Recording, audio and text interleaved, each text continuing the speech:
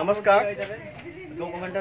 बोंगाईगांव, आसाम में हिंदू बंगाली पर जो अत्याचार हो रहा है, इसके लिए हिंदी पे ये वीडियो बनाया जा रहा है। देखिए एक तरफ़ मोदी जी जो बोले जा रहे हैं जो हिंदुओं की कोई चिंता की बात नहीं हिंदुस्तान में।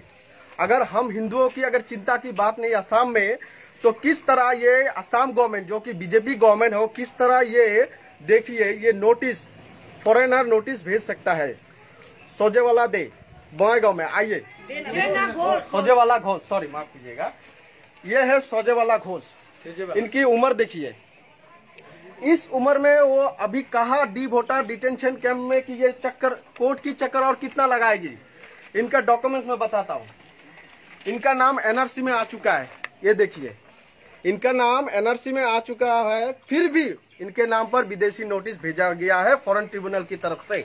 और मैं दिखाना चाहता हूँ इनका जो पिताजी है इनका जो पिताजी है इनका पिताजी के नाम पे इंडियन पासपोर्ट है। ये पुराना पासपोर्ट हम लोग ने किसी ने देखा नहीं होगा ये पुराना जमाने में पहले के पासपोर्ट इस तरह होता था। अब देखिए पासपोर्ट होने के बावजूद इनके पिताजी के नाम पर फिर भी इनके ऊपर डी वोटर का नोटिस जारी किया गया असम गवर्नमेंट की तरफ़ से। और डॉक्यूमेंट देखिए इनकी। ये है 1951 की डॉक्यूमेंट्स है। सन 1951 की जो लिगेसी डाटा है वोटर का लिगेसी डाटा है ये है इनका। इनका पिताजी का नाम पे है। एनआरसी का है। ठीक है?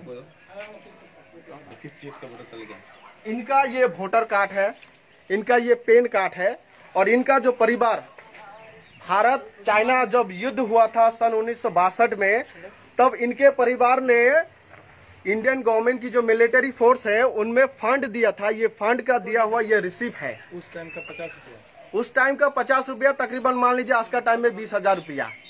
उस टाइम में पचास, सन उन्नीस सौ बासठ में पचास रुपया दिया था इनका। ये। तो ये क्या हो रहा है? एक तरह मोदी जी बोल रहा है, एक तरह सर्बानंद सोनोवाल बोल रहा है, जो सीए लाया हुआ हूँ, हिंदुओं की कोई चिंता की बात नहीं। घुसपेटिया जो विदेशी है, वो विदेश से चला इंडिया से चला जाएगा। ये घुसपैठी आपको लग रहा है? ये आतंकवादी आपको लग रहा है? ये देश को खतरा है? फिर हम हिंदुओं को क्यों विदेशी नोटिस दिया जा रहा है? हमारा कसूर क्या है? हमारा लैंग्वेज बंगला है बोल के आप लोग हमसे जेलिसी करते हो क्या? देश का बंटवारा हमसे पूछ के आपने किया देश का बंटवारा? रातों रात आपने लकीर खींच दिया, हिंदुस्तान, पाकिस्तान, बांग्लादेश। हमारा दोस्त था क्या? ये हिंदू बंगाली परिवार का दोस्त है? इनका जो ये भतीजा, इनका दोस्त था क्या? आज इन परिवार को जो विदेशी नोटिस भेजा आपने, किस अथॉरिटी से आपने भेजा? ये बात मैं पहना, कहना चाहता हूँ मोदी जी से। ये बात मैं कहना चाहता हूँ सर्वानंद सोनोवाल जी से। जो सन 1971 छोड़ो उन्नीस सौ इक्यावन 1924 का कागज़ होने के बावजूद भी पैरामिलिट्री को फोर्स में फंड देने का बावजूद भी पासपोर्ट होने का बावजूद भी और तो और इनका परिवार जो देश के स्वाधीनता संग्रामी थे नाम क्या था? दिगंत घोष। दिगंत घोष नहीं हो किसको स्वाधीनता संग्राम जो दिया? चंद्रशेखर आज़ाद। चंद्रशेखर आज़ाद इनके परिवार को लेटर लिखा।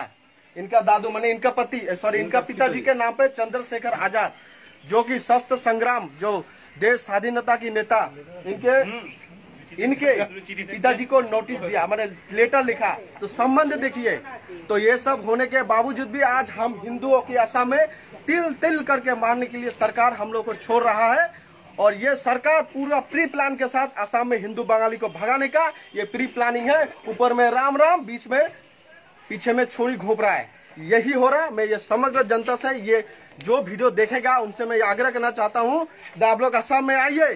देखिए, हम हिंदुओं की क्या अत्याचार हो रहा है। दिल्ली में आप हिंदू हिंदू बोल रहे हो। दिल्ली में आप हिंदू हिंदू बोल रहे हो। हिंदू मुसलमान के साथ दिल्ली में दंगा हो रहा है। आप कोलकाता में बोल रहे हो जो इधर से घुसपैठिया खिदाएँगे।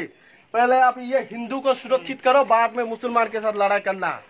मैं ये सभी जनता से आग्रह करना चाहूँगा, जो भी वीडियो देखेगी या आगे जाके देखेगा, उन्हें कहूँगा ये वीडियो को शेयर करो, इससे ज़्यादा से ज़्यादा फैलाओ कि ये जो है हमारे साथ जो षडयंत्र कर रहा है, उनको मुँह तो जवाब मिले। और ये जो विक्टिम फैमिली है, इनके साथ हम हिंदुओं और मैं हिंदू संगठन के साथ भी मैं ये बात बोलना चाहूँगा। आप बजरंग दल करते हो, आरएसएस करते हो, हिंदू जागरण मंच, आप लोग कहाँ हो? ये हिंदुओं के नाम पे जो विदेशी नोटिस दिया गया तो आप लोग कहाँ पे हो? आप लोग इनका साथ में ये विपद का टाइम में आप लोग को होना चाहिए था। लेकिन आप तो हिंदू मुसलमान के टाइम में आप बिज़ी हो। कैसे हिंदू मुसलमान को लगा जाए और कैसे वोट बटोरा जाए?